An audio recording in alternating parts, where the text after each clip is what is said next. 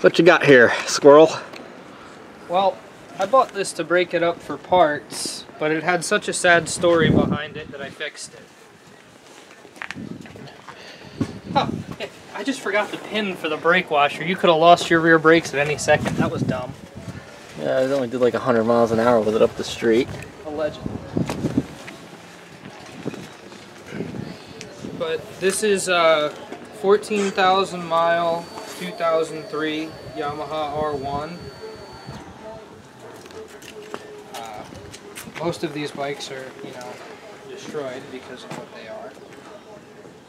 The engines make great go-karts, which originally that was the fate for this thing, but someone's boyfriend sold it to them as their first bike, and this this sweet girl was this tall, you know, 5'4", regular build, just, and this is an R1. He, he was trying to kill her.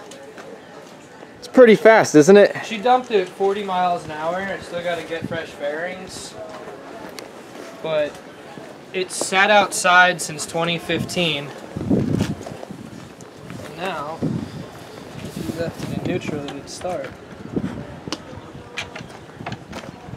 You in? I don't know, second probably?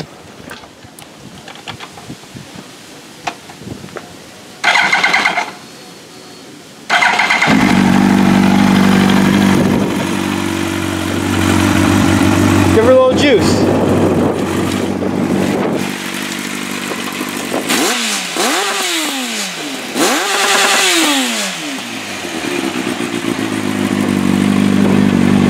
Oh, I like that. It brought the idle down. It blew a lot of carbon out the pipe too. I can't wait to get this thing plated and, you know, out on the highway at 70 miles an hour. Yes, a nice 70. And since the battery's dying on the camera, on that note, we'll leave this on a nice legal ending.